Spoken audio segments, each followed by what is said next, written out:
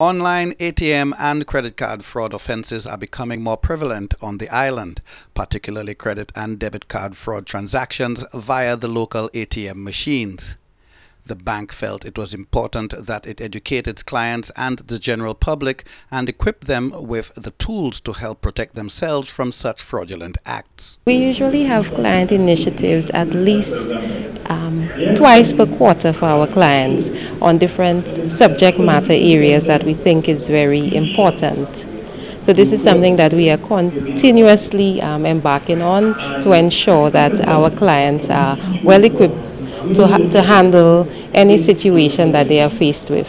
Speaking at the conference was Mr. Antoine Ventura, who is responsible for the banking institution security via WebEx. His vast knowledge and expertise were more than welcomed by members of the corporate community.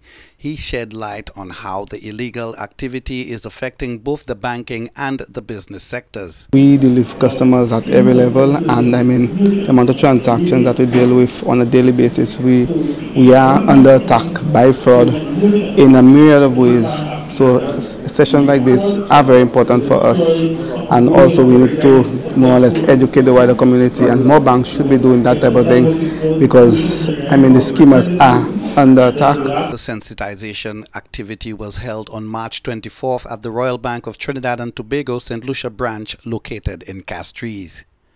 For the DBS News World, I am Alex Bousquet.